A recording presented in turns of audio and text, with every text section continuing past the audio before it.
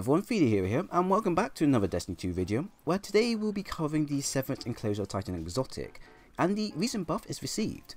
Now, I've already created a build video a few days ago covering what the buff means for the exotic, and how you can make full use of it, but I felt like it would be a wise idea to break it down further and give you other ideas as to how you can expand the exotic further, and any other important information that you may need to know up till now. So to start things off, I'll explain what the exotic does. Short and simple, it produces a AoE blast upon enemies killed with any ethnicity, and gets even more stronger and more wider in terms of AoE depending on how strong the enemy is. It can also provide a knockback blast upon those nearest blast radius who somehow survive. It can even work via depleted swords to proc explosions as well. Fairly simple and easy to use, this exotic will be useful for those that want to kill rooms full of minor enemies in a mere seconds, and can get pretty crazy too using when chaining with your finishers or certain subclasses to also proc it further multiple times. Now back in Season of Dawn the exotic only procced via finishers in PvE, which made it very situational at best to use in most activities. In PvP, this exotic functioned upon powered melee kills, which made it viable in some fights. However, it was still very situational as the perk and exotic as a whole was more useful when catching a whole group out, which in PvP everyone knows is not an easy task. With this being the case, the Severance enclosure was easily overlooked by other exotics with better usage and functionality in content, such as the feedback fences or Dunemarchers, which are identical to what the Severance does, but provide a better uptime overall use of content with lack of restrictions. With the introduction to Seasonal Worthy, the exotic has now changed to a procs off powered melee hits in PvE. So middle tree thrown hammers, a bottom tree code the Earthshaker, hammer strike, etc. All these are in powered and as long as you kill them with a powered melee, it will now always proc. This means a number of things. Firstly, you don't have to always use your finishers to proc the exotic, which is a major red flag for the exotic back in the Season of Dawn, because of how limited it was. Now we have the choice to always proc it through alternative means.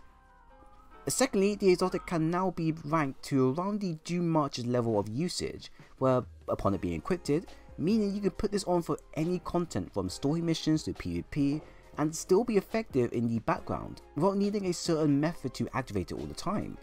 It's just put it on and go to town. And thirdly, it works for your supers, but only with the melee action, so all of the Void and Arc subclasses and Military Solar get everything basically, all subclasses can work off it, as long as you use the melee options only. Now how useful it is in PvP is very situational like I said.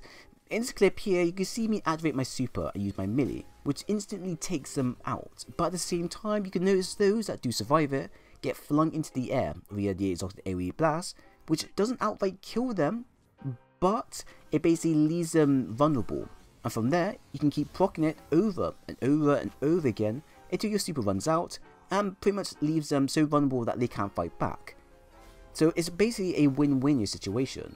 Its viability in PvP is always good, I've noticed, if you're happy with getting up close and personal to players, and using the code Earthshaker or code the Fireforge for the power melees are probably the safest method to do so. Well, not safest, but probably the best methods of doing so. And then further combining them with your super that uses melee as a base secondary attack also means you can be pulling off explosions all the time. The only downside to using this in PvP is the fact that you have to get up close and personal to trigger it, which in PvP isn't an easy feat on itself, especially when trying to pull this off in a group of players. So if you do try to do this, make sure you have the higher ground first before attempting this, because you may end up disliking it in the end. So you're probably wondering what else do we need to be aware of? Well, I did some further testing to find out a few things that I thought would be appropriate for players, such as the damage produced via the AoE blast on PvE enemies, how wide the blast radius gets, and what is considered a powered melee hit for proccing it. So let's first take a look at the blast radius. The blast radius upon detonation will always be on you and nothing else, which means the code of the Devastator throwing hammer won't become a mobile explosive stick for your fun and glory, sadly. From testing, depending on enemy type you face, both the damage and radius will also increase, with majors being the max potential range it can hit.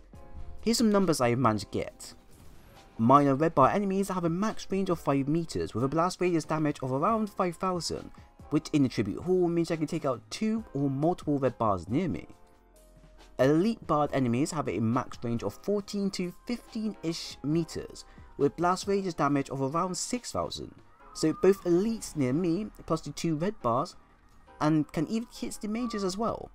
Now the major bar enemies have a max range of 20 meters with a blast radius damage of around 9000 up close and 7000 at its max blast radius, which is an incredibly high and pretty much can wipe out a whole group of ads there and then, excluding the majors depending on their health.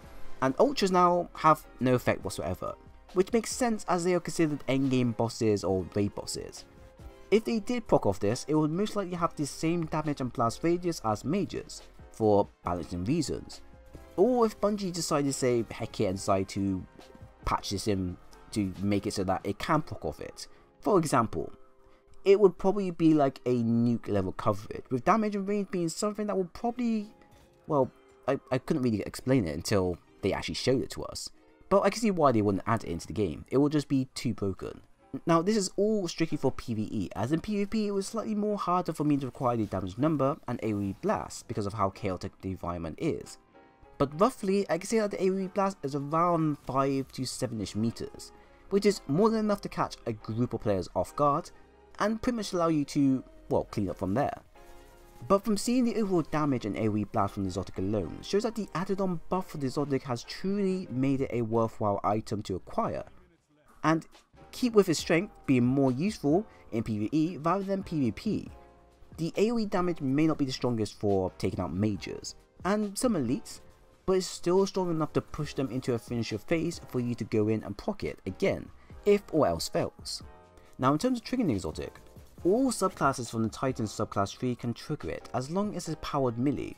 So we have Seismic Strike, Ballistic Slam, Frontal Assault, Hammer Strike, Mortar Blast, Burning Maul, Defensive Strike, Shield Bash and Tactical Strike. This also extends into your super as well like previously mentioned, as long as you use your melee to deal the damage, so if you really want to make full use of this, I would recommend, for a ideal build, I recommend you roll with a high strength stat of 50, 60 or 70, have the Monte Carlo, and an easy to use melee that will one shot all the time like the Hammer Strike or Seismic Strike. On top of that, add on some super regaining mods as well, and you have a really crazy time with this build in PvE, or from my experience PvP, especially in PvP. Things will get very heated and a lot of players will probably end up avoiding you or keeping a close eye out from you. So overall, is the Severance enclosure worth getting? Yes, by the heavens, yes, 100%. Before, it didn't really have much of a place back in PvE because of how restricted it was. Um, and PvP was extremely situational to pull off 9 out of 10. Plus, other exotic with the same or similar function operated much better than the Severance did.